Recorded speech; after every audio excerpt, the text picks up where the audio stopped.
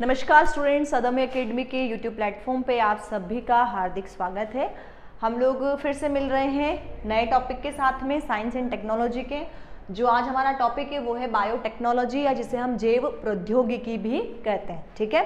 ये important topic है। R S pre के पर्सपेक्टिव से देखने में एक प्रश्न इसका ज़रूर मिलता ही मिलता है। जैसे अभी हम लोगों ने डिस्कस प्रीवियस वीडियो में किया था कि नैनो टेक्नोलॉजी का एक क्वेश्चन फिक्स है, वैसे ही बायोटेक्नोलॉजी का भी एक क्वेश्चन आपके फिक्स है। तो ये दो तीन टॉपिक ऐसे हैं जिनको सिर्फ़ अगर ये टॉपिक पढ़ लिए मतलब यहाँ से तो प्रश्न आएगा ही आएगा। ऐसा नहीं है कि जीके में आप हिस्ट्री पढ़ रहे हैं मेवाड़ मारवाड़ वगैरह सारा पढ़ लिया, प्रश्न एक में से ही आया। वैसा नहीं, यहाँ पे क्या है आपका टेक्नोलॉजी साइंस के अंदर क्या होगा, आपका अगर एक भी टॉपिक आपने जो देखा है, मैं उन्हीं टॉपिक को ज़्यादा फोकस कर रही हूँ या उन्हीं टॉपिक को हम लोग बिल्कुल दो चार दिन बचे हुए हैं, उन्हीं पर फोकस कर रहे हैं जो कि क्वेश्चन आएँगे जहाँ से आने के चांसेस 100 परसेंट है, उस पर हम लोग डिस्कस करें आते हैं इस टॉपिक की तरफ़, बढ़ते हैं। सबसे पहले देखते हैं, क्या है ये टॉपिक जैव प्रौद्योगिकी या बायोटेक्नोलॉजी टेक्नोलॉजी क्या होती है, जिसके अंतर्गत हम लोग नई नई जो विधियाँ होती है टेक्निक्स होती है, उनका उपयोग किसमें कर रहे हैं? बायो में या जीवित कोशिकाओं में।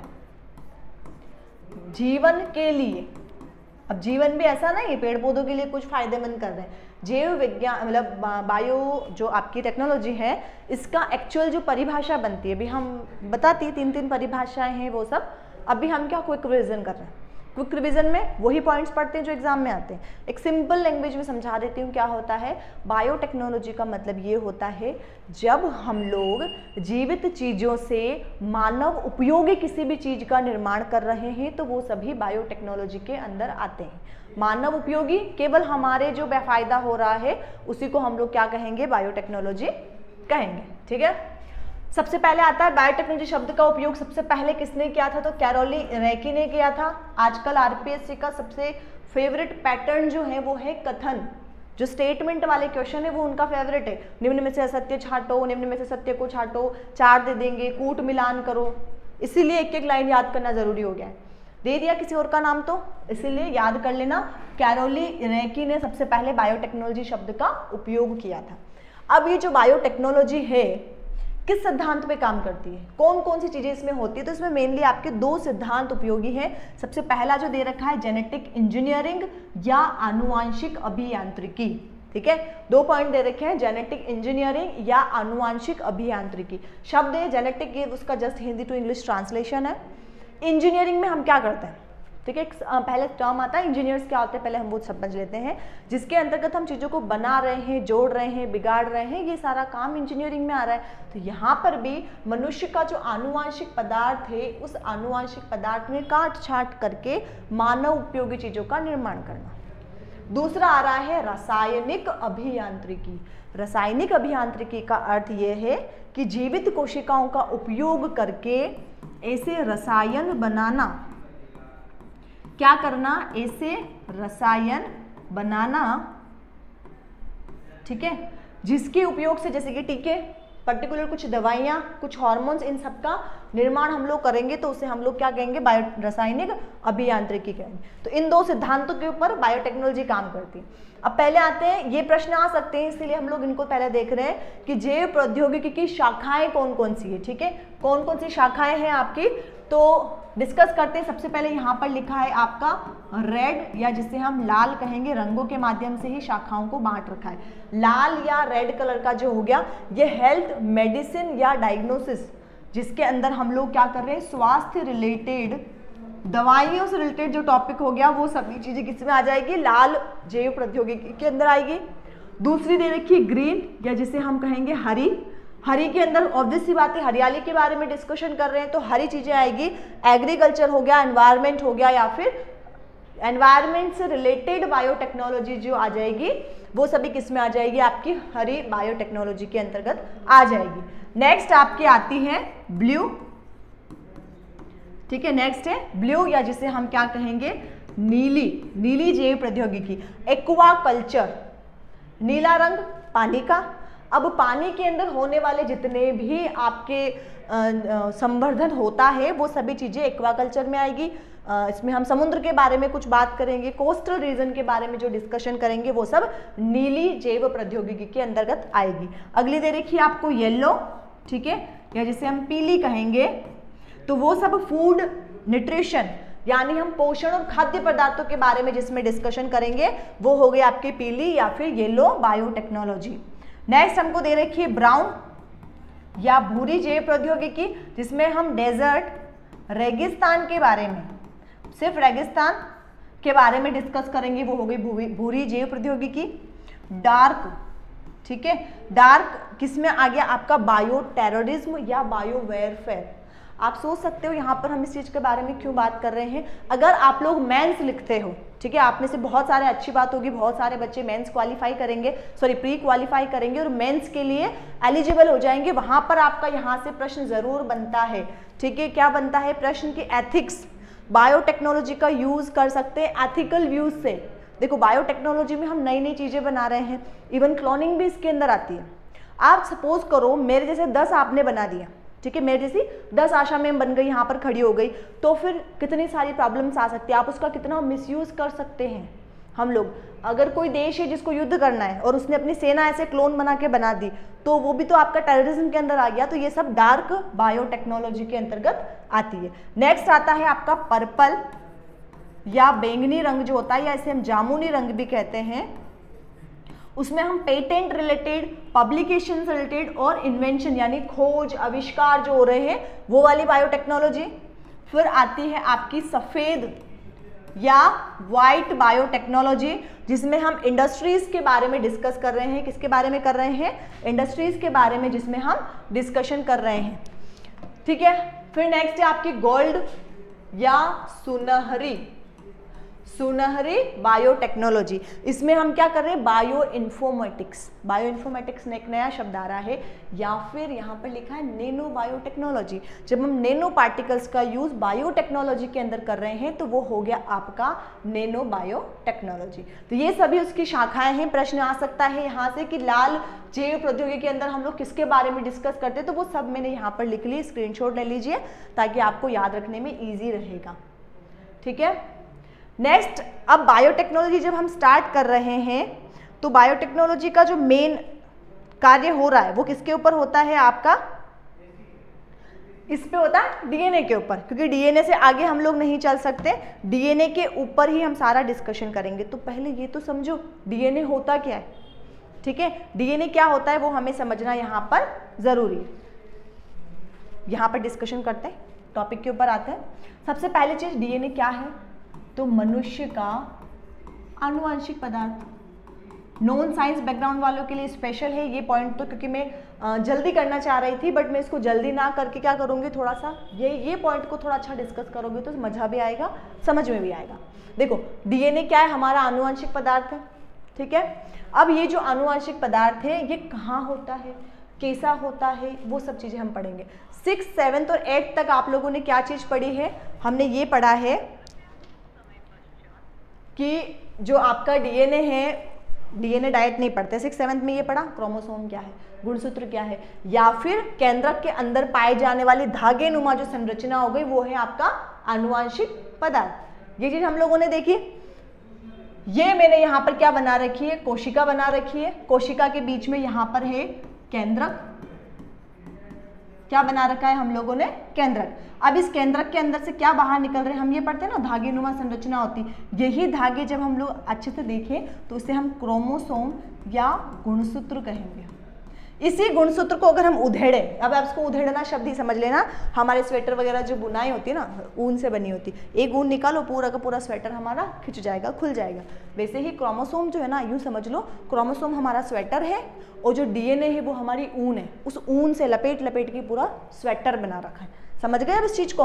ये धागा निकाला, ये धागा जब हिस्टोन प्रोटीन बीच में हिस्टोन प्रोटीन भी आते हैं ठीक है? उससे ये बाहर जैसे ही निकलेगा तो यहाँ आ जाता है हमारा डीएनए और ऐसा डीएनए आप लोगों ने देखा होगा। हमारा डीएनए जो होता है, इसके बीच में ऐसी लाइनें होती है। इन लाइनों के ऊपर कुछ अक्षर लिखे होते हैं, ठीक है? कभी आपने देखा हो तो इस तरीके से आपका डीएनए इधर ए इधर टी इधर सी इधर जी ऐसे कुछ अल्फ़ाबेट लिखे होते हैं। ये अल्फ़ाबेट क्या है? इन्हीं अल्फ़ाबेट से तीन अल्फ़ाबेट वाले कोड बनते हैं। ए you ji ji ji you ऐसे तीन तीन वाले कोड बनते हैं। इन कोड जो ये है, इनको हम कहते हैं जेनेटिक कोड इस कोड का जो ये पूरा ऐसा शब्द जिनसे कोई ना कोई अर्थ निकलता हो, इन कोड को हम कहते हैं जीन तो हमारे आनुवांशिक पदार्थ की सबसे छोटी इकाई क्या हो गई? जीन कैसे छोटी इकाई हो गई? केंद्रक केंद्रक से क्या निकला? क्रोमोसोम। क्रोमोसोम किससे मिलके बने हुए थे? डीएनए से। और डीएनए के अगर और छोटे कोड हम लोग निकाल दे तो उसे हम क्या कहेंगे? यहाँ पर जीन कहेंगे। ठीक है? अब ये जो जीन है, इसी में हमको मेन काम करना है। इस जीन के जो ये कोड है ना, ये हर एक कोड एक अलग प्रकार का क्या बनाता है? प्रोटीन। इस प्रोटीन से हमारे शरीर की सभी क्रियाविधियाँ पूरी होती हैं। ठीक है? जैसे ये प्रोटीन आए, इस प्रोटीन से हमारा शरीर का पूरा का पूरा बैलेंस चलता है। आप समझ लो जैसे हम लोगों ने बातचीत करते हैं, खाना खाना है। तो सामने वाले व्यक्ति को पता है मुझे खाना खाना है।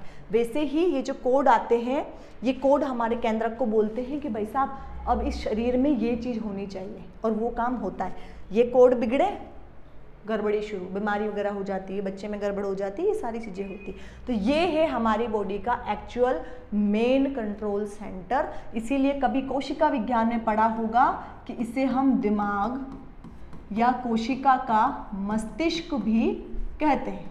क्या कहते हैं हम लोग इसे? कोशिका का मस्तिष्क, क्योंकि यही मेन कंट्रोल कर रहा है। ठीक है? इसीलिए हम इसे कोशिका का मस्तिष्क कहते हैं। यहाँ हो गया कंप्लीट एक और चीज़ बता देती हूँ मैं। डीएनए जो होता है ना आपका, वो दो चीज़ों से मिलके बना हुआ होता है। किन दो चीज़ों से मिलके बना है आपका? ये जो बनी है बाहर, ठीक है? ये तो बनती है आपकी शुगर से। शर्करा है, ठीक है? बीच में जो ये डंडियाँ लगी हुई है, इनको कहते हैं हम नाइट्रोजनी क्षार। प्रश्न इनसे रिलेटेड भी पूछ सकता है, बहुत बेसिक लेवल का आएगा, अगर यहाँ से आता है तो। क्या हो गया? नाइट्रोजनी क्षार हो गया। नाइट्रोजनी क्षार के अंदर क्या होते हैं? चलो एक पेज लेके मैं समझा देती हूँ यहाँ पर। नाइट्रोजनी क्षार। और क्या रहता है? पेंटोज शर्करा। और क्या रहता है? Phosphate group. ठीक है? फॉस्फेट ग्रुप, फॉस्फेट जो होता है आपका वो पेंटो शर्करा हो गई, नाइट्रोजनस क्षार हो गए नाइट्रोजनस क्षार जो होते हैं वो दो प्रकार के होते हैं।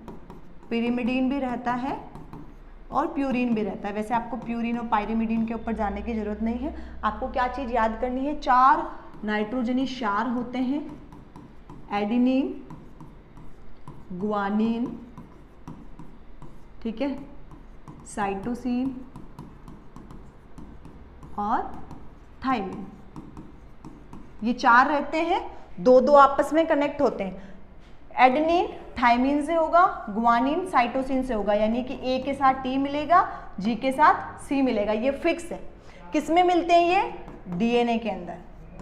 अगर यही मैं किसकी बात कर लूँ? आरएनए के बारे में डिस्कस कर लूँ तो आरएनए में साइटोसिन की जगह पर यूरेसिल पाया जाता है। क्या पाया जाता है? यूरेसिल इसके ऊपर बेस्ड क्वेश्चन आ सकता है कि आरएनए के अंदर कौन सी नाइट्रोजनी क्षार पाया जाता है? यूरेसिल किसकी जगह पे? साइटोसिन की जगह पर साइटोसिन नहीं होगा यूरेसिल होगा। होंगे उसमें भी चार, इसमें भी चार। यही सबसे बड़ा इसके अंदर अंतर है। ठीक है, वापस यहाँ आते हैं।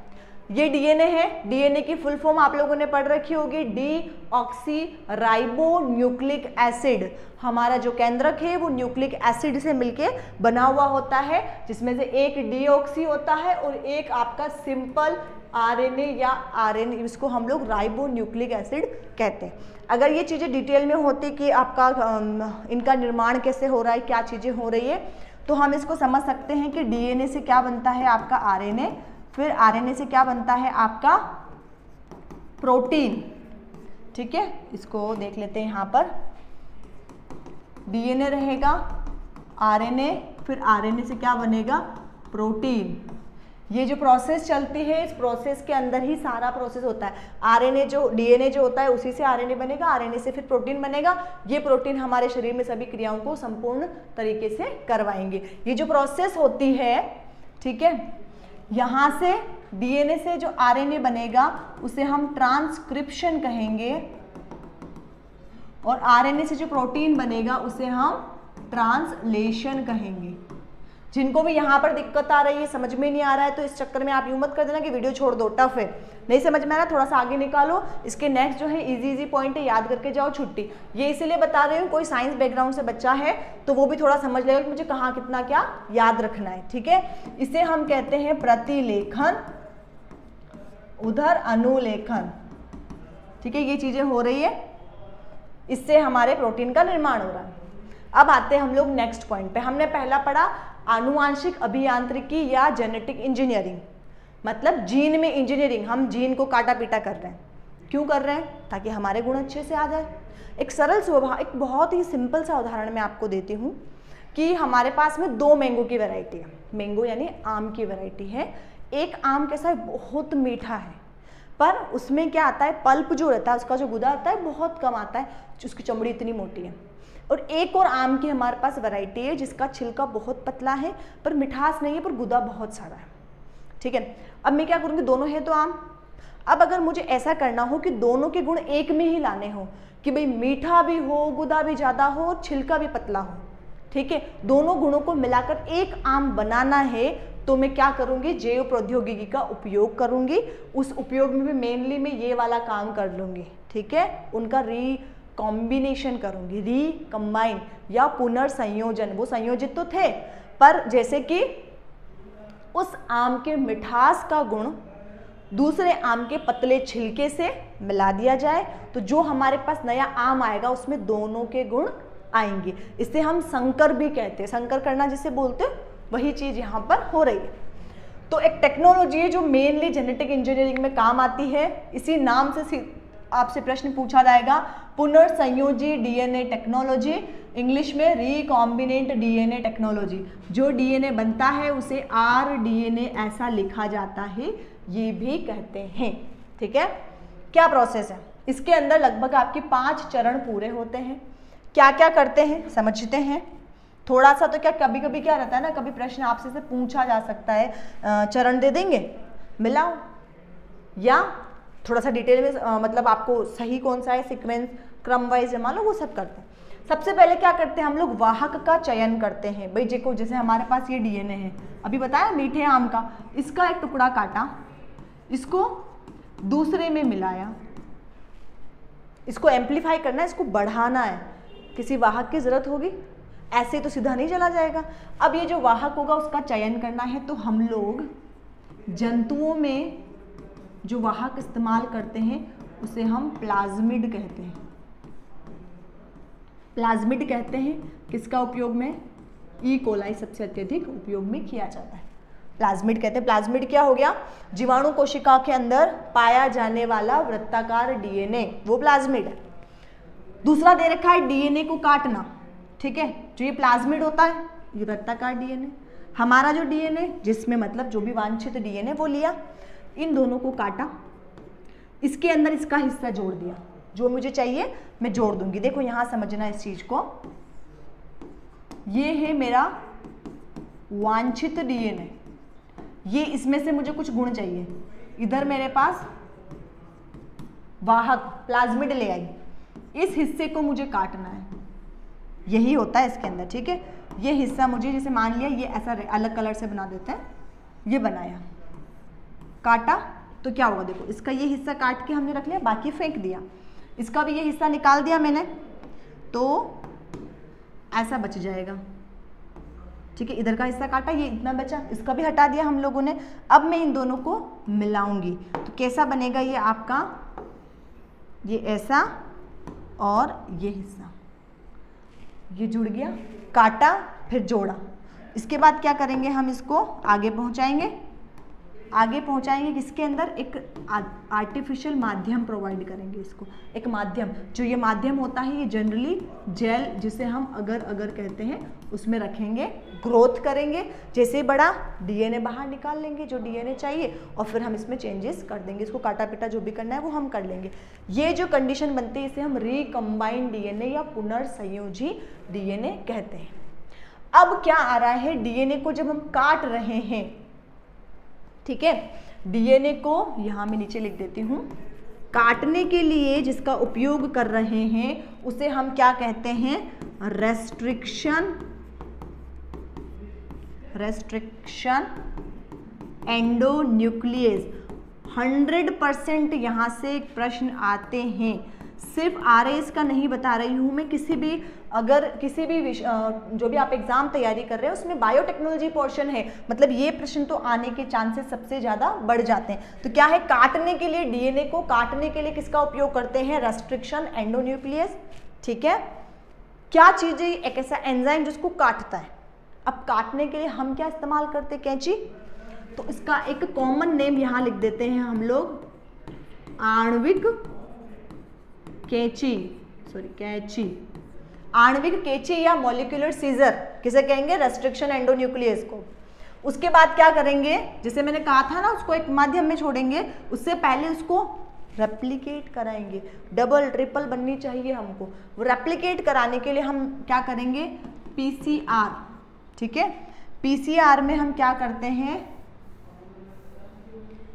इसकी फुल फॉर्म अगर मैं बताऊँ पॉलीमरेज चेन रिएक्शन पॉलीमरेज एक एंजाइम है, ये प्रश्न भी आ रखा है पहले। पीसीआर टेक्नोलॉजी में किस एंजाइम का उपयोग करते हैं? पॉलीमरेज एंजाइम का उपयोग करते हैं। क्या है ये? एक शब्द अभी कोविड में बहुत सुना होगा। R T P C R R T P C R P C R ये यही टेक्नोलॉजी है। पी सी आर यहाँ पर आर टी का मतलब रिवर्स ट्रांसक्रिप्ट से ट्रांसक्रिप्टेज था। आर टी का मतलब क्या था? यहाँ से भी प्रश्न पूछ सकते हैं। Reverse transcriptase. पूछ सकते हैं, अभी हाल ही में कोविड के अंदर उपयोग किए जाने वाले टेस्ट आरटी पीसीआर में आरटी का अर्थ है रिवर्स ट्रांसक्रिप्टेज। बाकी तो पॉलीमरेज चेन रिएक्शन है ये। अब चेन रिएक्शन रिएक्शन मतलब क्रिया चेन मतलब चेन चेन का मतलब एक, फिर दो, फिर तीन, फिर चार मतलब वो जुड़ते आते एक लंबी श्रृंखला बना लेते हैं। अब कोविड में ये क्यों इस्तेमाल किया? भाई, हम लोगों ने कोविड का एक सैंपल लिया, उसका डीएनए पहचानना है। डीएनए बड़ा करेंगे तो पहचानेंगे ना तो छोटे से को तो कैसे पहुँचा, पहचानेंगे? पहले पीसीआर टेक्नोलॉजी करवाते थे, उसका फिर आइडेंटिफिकेशन करते थे। ये काम हम लोग कर रहे थे। तो ये रिएक्शन करवाई, फिर डीएनए को जोड़ा। डीएनए को जोड़ने के लिए किस एंजाइम का उपयोग करते हैं? लाइगेज लाइगेज का अर्थ क्या हो गया यहाँ पर आपका? इसे हम लोग आणविक गोंद भी कहेंगे। आणविक गोंद मॉलिक्यूलर ग्लू ये दो इंपॉर्टेंट है चीज़ें, याद रख लेना। आणविक केची रेस्ट्रिक्शन एंडोन्यूक्लियस आणविक गोंद या मॉलिक्यूलर ग्लू लाइगेज एंजाइम ठीक है? नेक्स्ट हो गया होस्ट सेल में डालकर संवर्धित करना। मैंने भी क्या बताया था? जैसे ही जोड़ लिया, इसको किसी माध्यम में रखेंगे, संवर्धन करेंगे। डीएनए चाहिएगा, बाहर निकाल लेंगे सिंपल तरीका। नेक्स्ट आता है एक पॉइंट आपका स्टेम सेल्स वो तो हो गया आपका रिकॉम्बिनेंट डीएनए टेक्नोलॉजी हर जगह उपयोग में करेंगे। ऐसे ही डीएनए में जोड़ तोड़, काटना पीटना हम करते रहते हैं। नेक्स्ट आता है स्टेम सेल्स कहाँ काम आती है? इसके बारे में आपसे पूछ सकते हैं तो मैं आपको हल्का सा एक आइडिया दे देती हूँ स्टेम सेल्स क्या होती हैं। देखो स्टेम सेल्स हमारी बॉडी की अविखंडित, ठीक है? अविखंडित व अविभाजित कोशिकाएँ होती हैं। मतलब विभाजन हो सकता है, लेकिन तब तक नहीं हुआ होता है। ये अनडिफ्रेंशिएटेड सेल्स होती है, जिनका डिफ्रेंशिएशन नहीं हुआ अभी तक कि इससे क्या बनेगा आगे जाके? बस कोशिकाएँ हैं। स्टेम सेल्स आप लोगों ने एक आज से अगर अभी सब आप लोग यंग हो वैसे तो बट एक पहले एक एड आता था जब इसके बारे में जानकारी चली थी। ऐश्वर्या राय शायद ऐश्वर्या राय का एक एड आता है, जिसमें ऐश्वर्या राय बताती थी कि मैंने तो अपने बच्चे की स्टेम सेल प्रिजर्व करवा लिए क्या आपने? ऐसा वो कहती थी। उस समय लोगों को पता लगा स्टेम सेल क्या होती है। देखो, जब बच्चा पैदा होता है तो माँ और बच्चे के बीच में जो कनेक्शन होता है, जिसको हम नाल कहते हैं, ठीक है, अपरा, ठीक है, अपरा प्लेसेंटा जिसे हम कहते हैं, उसके वहाँ से स्टेम सेल्स को हम प्रिजर्व करके रख सकते हैं। इन फ्यूचर कभी उस बच्चे को प्रॉब्लम हो तो उस कोशिका से हम पूरा का पूरा अंग बना सकते हैं। इसीलिए स्टेम सेल ज़रूरी होती है। चार प्रकार की कोशिकाएँ इनमें होती है। सबसे पहले टोटी पोटेंट शब्द है। टोटी पोटेंसी पूछ सकते हैं सबसे मोस्ट कॉमन वर्ड होता है, इसीलिए आपको याद रखना है। टोटी पोटेंट का मतलब होता है कि एक ही कोशिका से, एक कोशिका से किसी भी प्रकार की, या संपूर्ण जीव का निर्माण कर सकते हैं। उसे हम टोटीपोटेंट कहते हैं। संपूर्ण जीव का निर्माण मतलब ऐसी कोशिका जिससे हम पूरे शरीर की कुछ भी बनाओ, सब बनेगा। ऐसा मतलब वो। दूसरा दे रखा आपको प्ल्यूरी पेटेंट। सब बनेगा। इस कोशिका में संपूर्ण शरीर में क्या छोड़कर प्लेसेंटा नहीं बनेगा, बाकी सब बन जाएगा। प्लेसेंटा नहीं बनेगा। ये ऐसी कोशिका है जिससे प्लेसेंटा या अपरा नहीं बनेगा। मतलब बच्चा जो माँ से कनेक्ट होता है, वो नाल नहीं बन सकती, बाकी कुछ भी बनाओ, सब बन जाएगा। नेक्स्ट है मल्टीपोटेंट मल्टीपोटेंट का मतलब होता है बहु रूप से अंग बन सकते हैं। बहु रूप का मतलब होता है बहुत सारे अंग बन सकते हैं फिक्स नहीं होता है कि भाई अगर ये कोशिका मैंने ले ली लीवर बना दूँ, पेट बना दूँ, हाथ बना दूँ पैर वो एक अलग रहेगा कि भी कहाँ, क्या, कौन सी वाली है, उससे मतलब अलग अलग प्रकार से बन सकते हैं। और यूनिपोर्टेंट जो हो गई, उसमें क्या होगा? एक कोशिका से एक ही प्रकार का अंग बनेगा। या एक ही प्रकार के पर्टिकुलर उत्तक बनेंगे, उससे ज़्यादा नहीं बनेगा। तो यूनि शब्द का मतलब होता है एकल। तो यूनि एक ही चीज़ बनेगी, मल्टी एक से ज़्यादा बन सकता है, लेकिन सब कुछ नहीं बनेगा। प्लूरीपोटेंट सब बनेगा, प्लेसेंटा नहीं बनेगा। और टोटीपोटेंट पूरा का पूरा जीव बनेगा, प्लेसेंटा प्लेसेंटा सब बनेगी, कुछ भी बनाओ, वो हो गया आपके टोटीपोटेंट टोटीपोटेंट शब्द पोटेंट का मतलब होता है कैपेसिटी टोटी टोटल जितनी पूरी कैपेसिटी उसकी इतनी है कि वो संपूर्ण जीव का निर्माण कर सकता है। Next most important question of R S for R S exam ठीक है? इंपॉर्टेंट डीएनए फिंगरप्रिंटिंग फिंगरप्रिंटिंग अंगुली छापन। डीएनए अंगुली छाप भी आता है। अंगुली छाप क्या होता है? हम लोग क्या करते हैं? अंगूठा छापते हैं। कहीं पर भी अंगूठा उंगली कुछ भी। ये जो हमारी लाइंस होती है, ठीक है? ये लाइंस हर व्यक्ति में अलग है। हम किसी और का अंगूठा नहीं छाप सकते। हर व्यक्ति के पास अलग प्रकार की अंगुली छाप होती है। वैसे ही हर व्यक्ति के पास डीएनए अलग होता है। मेरा डीएनए किसी और व्यक्ति से 98 परसेंट मिल सकता है। क्योंकि मानव है, डीएनए मिलेगा। लेकिन कुछ ना कुछ चेंज रहेगा ही रहेगा। ठीक है? किसी व्यक्ति का डीएनए नहीं मिलता है। एक को छोड़कर, कौन है वो? ऐसे भ्रूण जो जुड़वा आइडेंटिकल ट्विंस जो बनते हैं, उन बच्चों के अंदर तो आपके डीएनए मिलता है। उन आइडेंटिकल ट्विंस के अंदर आपका मिलता है। आइडेंटिकल ट्विंस में भी वो वाले जो एक ही जाइगोड से यानी कि जो एक ही युग्मनज से जो बच्चे का निर्माण होगा, उन दोनों का डीएनए मिलेगा, बाकी संसार में किसी का डीएनए नहीं मिलता है। अब क्या करेंगे? डीएनए का अंगुली छाप लेंगे। डीएनए को छापा, किसी और से मैच किया, कर रहा है, नहीं कर रहा है, पता लग जाता है। उस टेक्नोलॉजी को हम डीएनए फिंगरप्रिंटिंग बोलते हैं। अब इससे रिलेटेड क्या प्रश्न पूछेंगे सबसे पहले? किसने खोज करी? एलेक्स जेफरी नामक एक वैज्ञानिक थे। उन्होंने इसकी खोज करी थी। तो क्या याद रखना एलेक्स जेफरी ने डीएनए फिंगरप्रिंटिंग की खोज करी थी। इंडिया में इसके ऊपर काम किसने किया था? तो डॉक्टर लाल सिंह जो थे आपके प्रोफेसर, उन्होंने इसके ऊपर सबसे मुख्य रूप से काम किया था। कहाँ उपयोग करते हैं? भाई साहब देखो, किसी भी अंगूठे का छाप वगैरह कुछ लेते तो कहाँ मैच कराएँगे कोई अपराध करेगा तो मिलाने के लिए काम आएगा। आपराधिक मामलों में, उत्तराधिकारी मामलों में, उत्तराधिकारी का मतलब ये होता है जैसे कि कोई बच्चा है ठीक है? फॉर एग्ज़ाम्पल मेरा ही बच्चा है। घूम गया, पैदा हुआ, उसके बाद घूम गया, मिला ही नहीं। और 20 साल बाद आके बोलता है, मैं तो आपका बच्चा हूँ। कुंभ के मेले में घूम गया था। ये सर पे चोट का निशान है। ऐसे थोड़ी पता लगता है बच्चे का।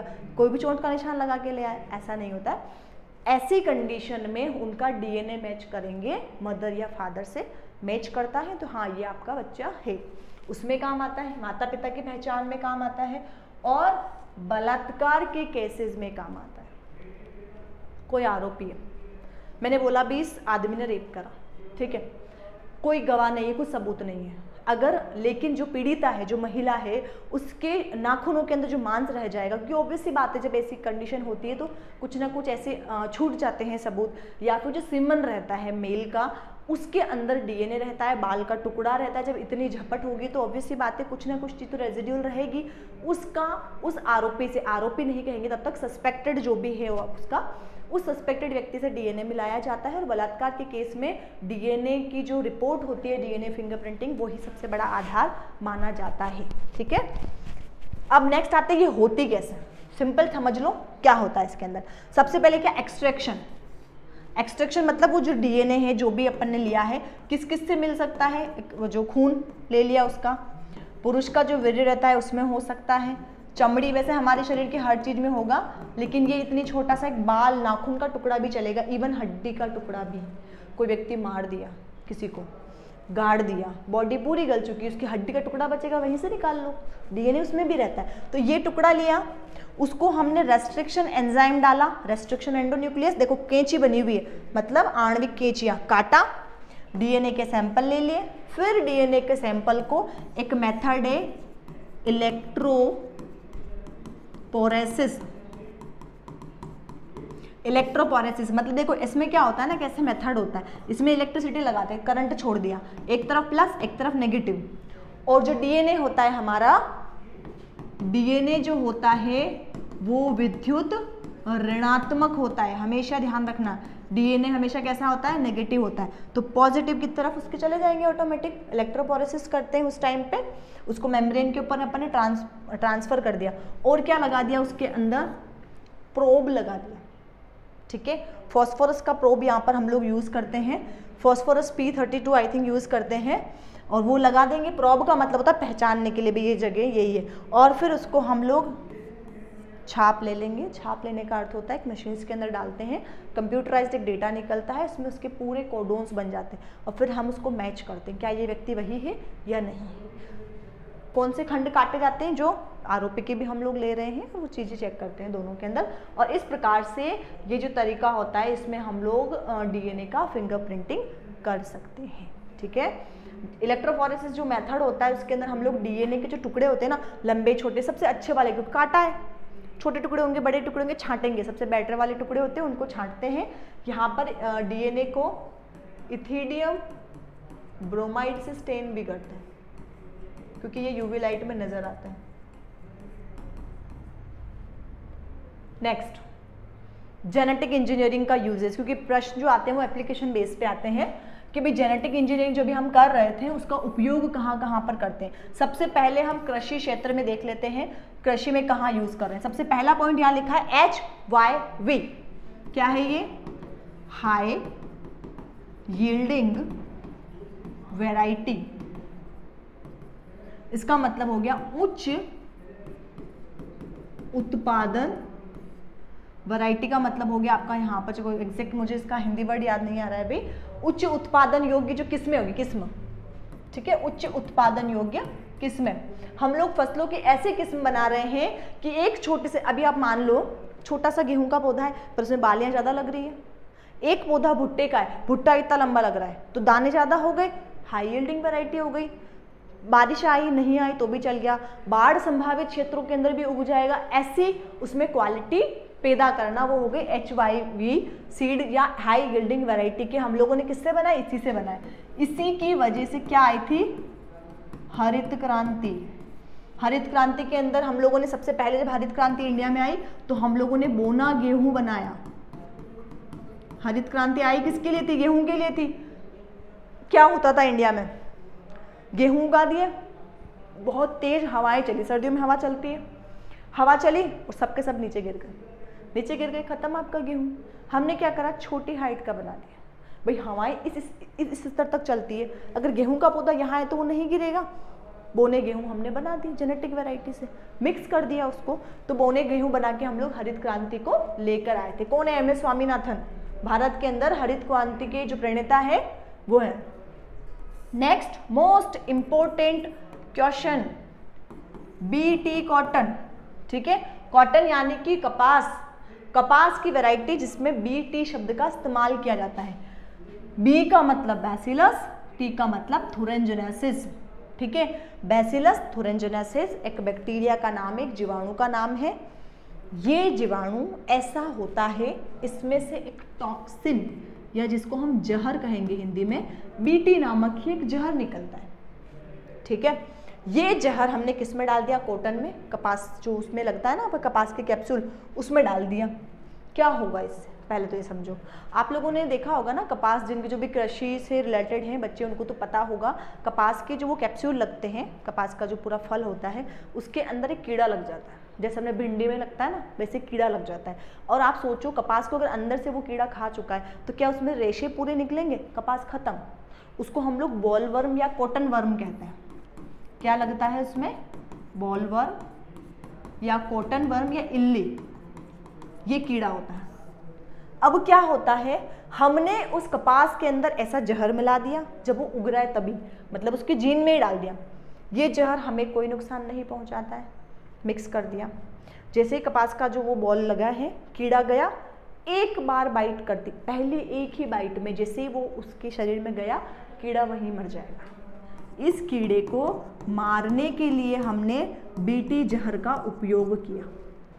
ठीक है? पहले ये इनएक्टिव फॉर्म में, जैसे कॉटन के अंदर नॉर्मल है, अक्रिय है। जैसे कीड़े ने खाया, सक्रिय हो जाएगा और कीड़ा मर जाएगा। इसके अलावा कोई और खाता तो नहीं मरता, बॉलवम को ही मारेगा। वो पर्टिकुलर उसी के लिए जहर है ये। तो हमने ऐसी फ़सल बना दी, जिसमें देखो, हम क्या होता है, कीड़े पड़े, फिर दवाई डालने गए। ऐसा कपास बनाया, जिसके अंदर खुद में ही दवाई है भाई साहब। प्लांट रेजिस्टेंट है उस चीज़ को लेकर। दवाई बना दी हम लोगों ने।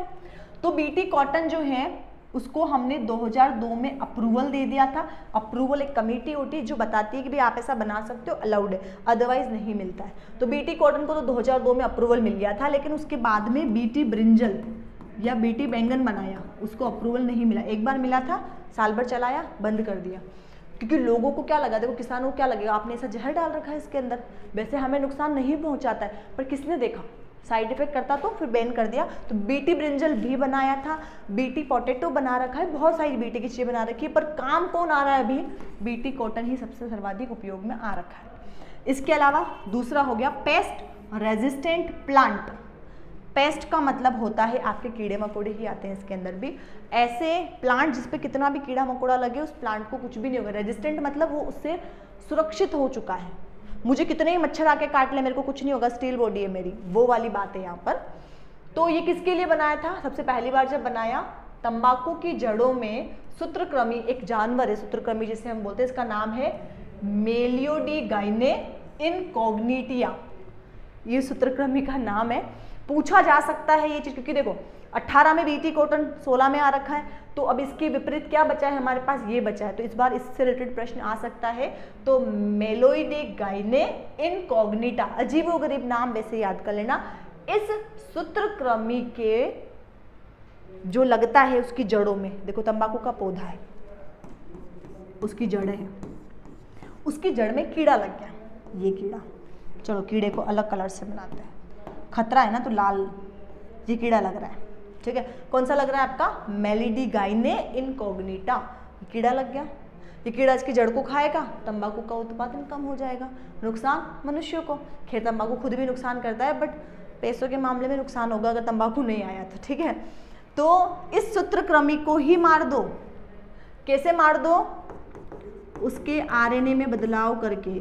इसके अंदर ऐसा डाल दिया, डबल स्ट्रैंड आरएनए की जगह एम डाल दिया, जिसकी वजह से इसका जन्म होगा तो भी यहाँ पर डिस्टर्ब हो जाएगा। क्या यूज़ करेंगे? R N A I R N A interference क्या यूज़ कर रहे हैं? R N A interference use कर रहे हैं, जिससे ऐसा हमारा पौधा बन गया। नेक्स्ट गोल्डन राइस ऐसे चावल बना दिए जिसमें विटामिन ए खूब सारा है। ठीक है? तो गोल्डन राइस प्रश्न आ रखा है पहले भी गोल्डन राइस है। किसका सबसे अत्यधिक उसमें उच्च मात्रा रहती है तो वाइटामिन ए की मात्रा सर्वाधिक है। दूसरा है सुपर पोटेटो जिसको हम प्रोटेटो भी कहते हैं। प्रोटेटो ठीक है, क्या बनाया? सुपर पोटेटो मतलब ऐसा आलू जिसमें 60 प्रतिशत प्रोटीन है, किसी भी सब चीज़ में नहीं होता है। भाई, ऐसा जिसको आप खाओ तो आपके शरीर में इतना सारा प्रोटीन जा रहा है। तो प्रोटीन होने की वजह से इसका नाम क्या रखा? प्रोटोटेटो पोटेटो का टेटो और प्रो किसका लिया? प्रोटीन का मिला के प्रोटेटो बना रखा है हम लोगों ने, जिसमें 60 प्रतिशत प्रोटीन है, ये भी पूछ सकते हैं। एक पहले भी आया था, पोमेटो और टोपेटो। टोमेटो और पोटेटो, ऐसा पौधा ऊपर तो टमाटर, नीचे आलू, इसीलिए पोमेटो। पोटैटो और टोमेटो को मिक्स करा, इसलिए दोनों मिक्स नाम दे रखे हैं। क्या लगेगा इसमें? ऊपर तो लगेंगे टमाटर तो टमाटर ऊपर ही लगेंगे। और जड़ों में क्या लगेगा आपका? आलू। ये भी बना रखा है, इसी की हेल्प से अपन लोगों ने। फिर एक दे रखा है बीटी ब्रिंजल या बीटी बैंगन। 2009 में इसको अप्रूवल मिल गया था। लगाओ। लोगों ने 2010 में विरोध करके बैन करवा दिया। ठीक है? नेक्स्ट दे रखा है आपका जीएम सरसो जीएम शब्द का मतलब होता है जेनेटिकली मॉडिफाइड मॉडिफाइड का मतलब जिसको परिवर्तन कर रखा, जिसके जेनेटिक चेंज कर दिया, ऐसी सरसों 2017 में अभी के अभी निर्मित हुई है। डीयू यानी कि दिल्ली यूनिवर्सिटी दिल्ली विश्वविद्यालय के प्रोफेसर ने इसको ईजाद किया है। लेकिन अभी तक किसानों का इसमें इंटरेस्ट उतना नहीं आया, क्योंकि जो जेनेटिक चीज़ें हैं, उनके ऊपर लोगों का भरोसा थोड़ा लेट आता दूसरा क्षेत्र हमारे पास आता है मेडिसिन के क्षेत्र में, ठीक है? मेडिकल एरियाज़ के अंदर हम लोग कैसे इसका यूज़ कर रहे हैं? मोस्ट इंपॉर्टेंट दो चीज़ें सीधी की सीधी डाल रखी प्रश्न पूछा हुआ है आपका, यहाँ से इसीलिए बता रही हूँ।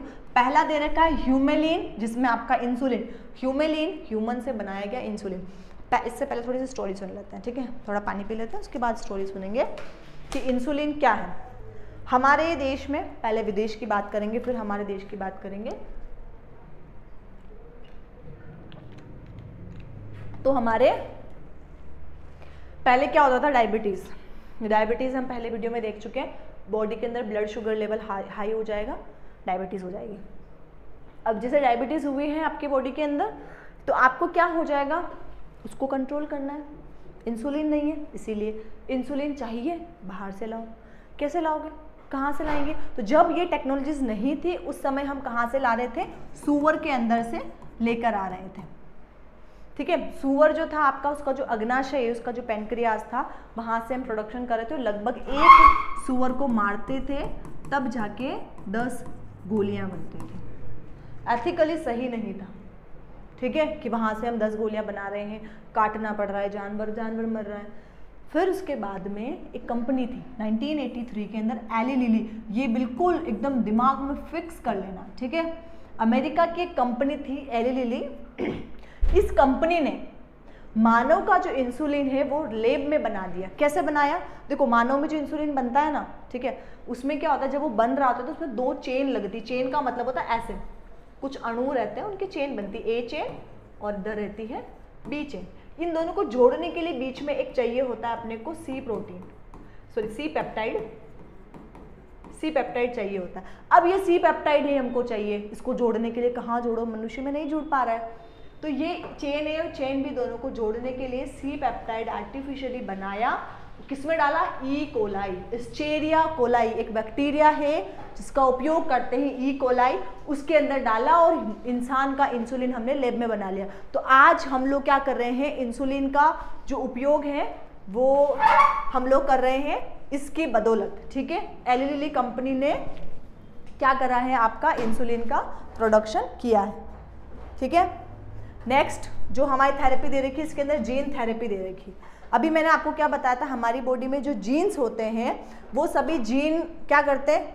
कोड कर रहे हैं, किसी न किसी पर्टिकुलर कोई लक्षण को लेके, किसी क्रियाविधि को लेकर ऐसे कर रहे हैं।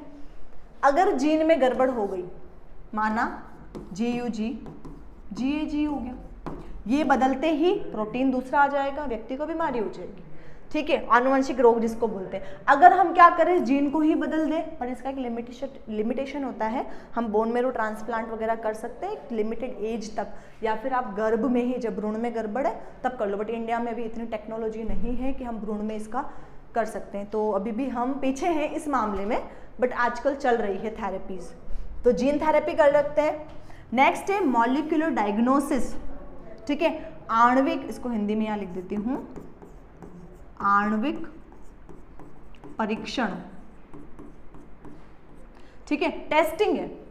ब्लड टेस्ट करते हैं ना सीबीसी हीमोग्लोबिन टेस्ट कर ब्लड लिया टेस्ट कर दिया हम लोगों ने।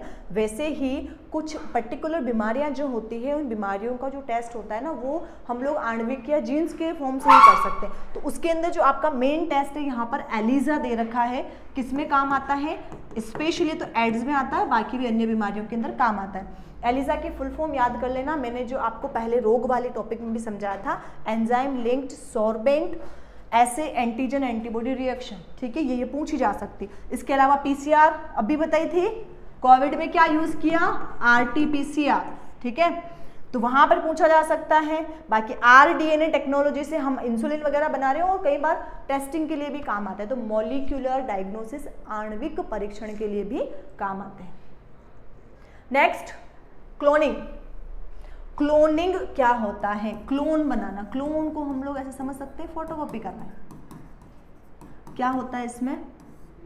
फोटोकॉपी मशीन में क्या होता है? पेपर डाला बटन प्रेस किया सेम टू सेम निकल गया. कुछ बदलाव नहीं, ठीक है? वही है क्लोनिंग हम लोग एक जीव का सिमिलर एक और जीव बना सकते हैं. बहुत सारी चीज़ों की क्लोनिंग हो चुकी है. लेकिन सबसे पहले जो पहली स्तनधारी था, ये डोली भेड़. सोलह में प्रश्न पूछा था। डोली भेड़ के ऊपर एक और जो है इम्पोर्टेंट रोजी काउ अगर पहले ये पूछ रखा है, रोजी काउ का इस बार आ सकता है, इसलिए ध्यान रखना आप लोग। डोली भेड़ जो है, कब से कब, इसमें स्टेटमेंट वाइज क्वेश्चन आया था, इसलिए मैंने भी सच्ची बता दी कि 5 जुलाई उन्नीस सौ छियानवे के अंदर इसको बनाया था और 14 फरवरी 2003 को इसकी मृत्यु हो गई थी। ये भेड़ इसमें माता पिता की आवश्यकता नहीं थी। इसमें अंडाणु की आवश्यकता मतलब आईवीएफ जैसा कुछ भी नहीं था, इसमें बनाया कैसा था? इसकी जो माँ थी, उसके स्तन कोशिका, माँ भी नहीं कह सकते, एक भेड़ था, उस भेड़ की स्तन कोशिका ली, स्टेम सेल्स जो मैं बता दी थी ना आपको जिस तरीके से, स्तन कोशिका ली और उससे एक हमने पूरी की पूरी डोली भेड़ बना दी, ठीक है? मृत्यु किससे हुई? रेस्पायरेटरी डिज़ीज़ से मतलब श्वास नली में संक्रमण हो गया और उसकी मृत्यु हो गई। ठीक है, ये तो डोली भेड़ के बारे में इतिहास है। अब एक है हमारा रोजी काउ ठीक है, रोजी काउ क्या है, इसके बारे में बहुत ज़्यादा कुछ नहीं है तो मैं आपको यही बताती हूँ। 1997 के अंदर न्यूजीलैंड के अंदर इसका निर्माण किया गया था। ठीक है, क्या काम आ रही थी, इसमें क्या नई चीज़ थी? तो इसके जो दूध था, उसके दूध में अल्फ़ा लैक्टो एल्ब्यूमिन प्रोटीन। ये एक प्रोटीन भी है और एक जीन का नाम भी दोनों चीज़ें lacto, sorry, alpha lactalbumin protein है, जो कि मानव में भी पाया जाता है। मतलब मानव यानी कि स्त्री जो होती है, उन स्त्रियों के अंदर जो दूध होता है, उस दूध के अंदर ये प्रोटीन होता है। इसीलिए माँ का जो दूध होता है, वो बच्चे के लिए सबसे अत्यधिक पोषण का स्रोत होता है। ठीक है?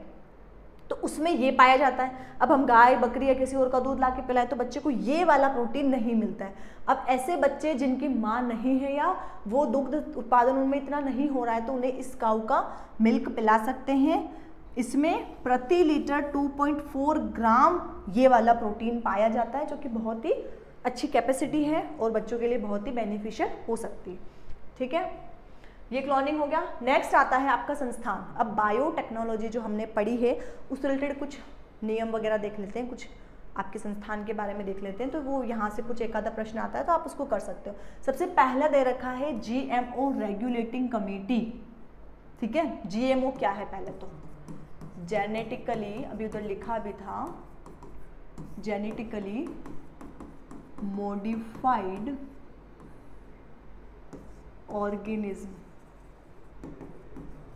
ठीक है जी एम शब्द का मतलब भी यही होता है और जी एम ओ का मतलब भी यही होता है। तो G M O regulating committee G E A C genetic engineering appraisal committee कहीं कहीं जगह ए का मतलब अप्रूवल भी होता है बट जो इसलिए विभाग है उस विभाग ने खुद को अप्रेसल लिखा है, मैंने इसलिए यहाँ पर अप्रेसल कर रखा है इसको। तो ऐसे कमेटी हैं जिसके अंदर आपने कुछ भी नया किया, जैसे आप संकर करवा रहे हो, कुछ स्टूडेंट है जो एग्रीकल्चर में बच्चे करते रहते हैं। अगर आपने कुछ चीज़ करी तो इस कमेटी के पास, आप लेकर जाओगे, उन्हें बताओगे, हमने ये बदलाव किया, ऐसे किया, ये चेंजेस किए। अगर वो अप्रूव करते हैं तो ही आप उसको कमर्शियल लेवल पर लेकर जा सकते हो अदरवाइज़ आप नहीं लेके जाते मानव की क्लोनिंग बंद है, ये ध्यान रखना। इंसानों की क्लोनिंग नहीं होती क्योंकि एथिकल इश्यूज़ आते हैं। नैतिक चीज़ें बिगड़ जाएँगी ना, मेरे से दस लड़कियाँ खड़ी कर दोगे, क्या मतलब? है वो वाली बात जाती है। अब ये जो कमेटी है, किसके अंडर चलती है? तो ministry of environment forest and climate change पर्यावरण, वन, एवं क्लाइमेट चेंज जो है आपका, इसका जो पूरा एक डिपार्टमेंट है M O E F and C C 1989 act के तहत इस डिपार्टमेंट के अंडर में ये कमेटी चलती है। इसके कुछ रूल्स और रेगुलेशंस है तो ये एक्ट ध्यान में रखना, ठीक है? नेक्स्ट आता है आपका ट्रिप्स ट्रिप्स 2005 ट्रिप्स क्या है? Trade related aspects of intellectual property right अब ये शब्द समझना इंटेलेक्चुअल प्रॉपर्टी राइट का मतलब क्या होता है? ये वही है जो पेटेंट में समझा रही थी। किसी भी एक चीज़ के ऊपर आपका अपने आप में क्या पेटेंट करवा लेना या आपने उसके ऊपर राइट बना लेते हैं, उसको इंटेलेक्चुअल प्रॉपर्टी कहते हैं। डब्ल्यू के द्वारा वर्ल्ड ट्रेड ऑर्गेनाइजेशन के साथ में एक समझौता है टिप्स 2005 जिसके अंदर कुछ पर्टिकुलर हमने रूल्स बना रखे हैं कि जो कोई चीज़ विदेश में जा रही है तो उस पर कोई पेटेंट हो, नहीं हो, ये सारी चीज़ें। जैसे कि आपको मैं भी कुछ बता देती हूँ, नीम के पत्ते, ठीक है? अमेरिका की कुछ कंपनीज़ ने नीम के पत्ते पे पेटेंट करा रखा है, ठीक है? एक फॉरेन कंट्री जिन्होंने बासमती चावल पे पेटेंट करा रखा है। हमने तो नहीं करा रखा। हमारे देश में कोई भी बासमती चावल बेचो, कोई दिक्कत नहीं। मतलब बासमती चावल की एक वेराइटी है, वो उसके अलावा कोई कंपनी नहीं बेच सकती विदेश में। ऐसे पेटेंट करवाते हैं, उसको बोलते हैं इंटेलेक्चुअल प्रॉपर्टी राइट नेक्स्ट है third Indian patent act 1970 India का भी एक पेटेंट एक्ट है। पेटेंट का मतलब वो ये कि आपने किसी के ऊपर अधिकार बना के अपने नाम पे रजिस्ट्रेशन करवा लिया वो पेटेंट तो 1970 में एक एक्ट पारित हुआ था, जो लागू कब हुआ? 1972 में। इस एक्ट के तहत इसमें बहुत सारे नियम आते हैं, जिन नियमों का पालन करने के बाद आपको पेटेंट के लिए रजिस्ट्रेशन मिल जाता है। इसी के अंदर ये ट्रिप्स आता है। इसी एक्ट के अंदर ट्रिप्स को फिर बाद में शामिल किया। 2005 में जब इस इंडियन पेटेंट एक्ट के अंदर संशोधन हुआ, तब इसको किया था। इसके अलावा एक और चीज़ है यहाँ पर पेटेंट इंफॉर्मेशन सेंटर भारत सरकार ने बहुत सारे राज्यों में ओपन कर रखा है। राजस्थान के अंदर 1998 में इसकी स्थापना हुई थी पेटेंट इंफॉर्मेशन सेंटर की, ठीक है? यहाँ तक जे प्रौद्योगिकी में जितने भी पॉइंट आ सकते थे, मैंने कोशिश करी है इस वीडियो के अंदर डालने की और आई थिंक ये सफिशियंट है for pre examination not for the mains because आपको वहाँ थोड़ा सा और डिटेल में जाना पड़ेगा। बट अभी के लिए सफिशियंट है, आप यहाँ से प्रश्न को ईजिली सॉल्व कर सकते हैं। यहाँ के लिए धन्यवाद।